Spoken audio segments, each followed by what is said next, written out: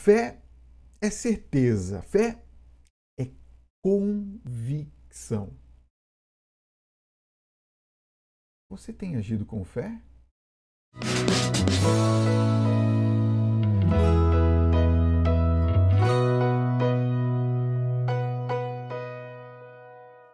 Quando vem aqueles momentos de extrema turbulência na vida, nós precisamos ter fé. Fé é esperar, é crer naquilo que ainda não se consegue ver.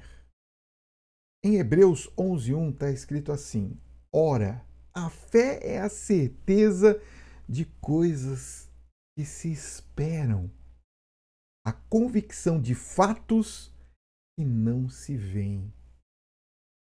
Eu estava aqui refletindo. Deus tem planos grandiosos para mim, para você, para todos nós. E você tem que parar, sabe, de achar que você é um derrotado na vida, que você nasceu para viver a rotina, para lidar com problemas todos os dias que não tem solução. E para não enxergar aquilo que Deus quer trazer para você, como prosperidade, amor, alegria, você pode, pode e deve pensar que você também é filho de Deus, amado, e que você efetivamente nasceu para viver esse tempo bom aqui nesse mundo, trazer o reino de Deus para cá.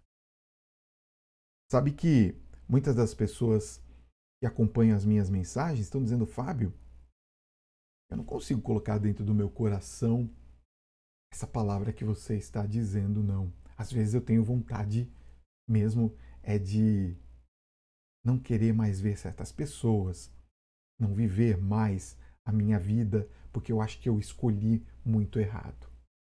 Bom, se você está com esse sentimento, eu digo para você: deixe de lado tudo isso e viva aquilo que Deus tem para sua vida.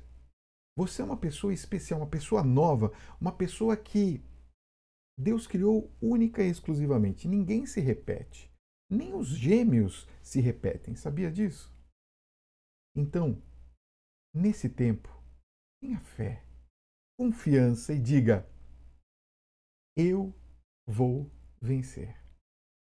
E traga para a realidade todos aqueles lindos sonhos que você sempre teve. Eu tenho certeza que você vai ser uma pessoa muito feliz e muito vitoriosa e próspera nessa vida. Destrave a sua mente e os seus sentimentos e creia em você, porque você você pode ser feliz.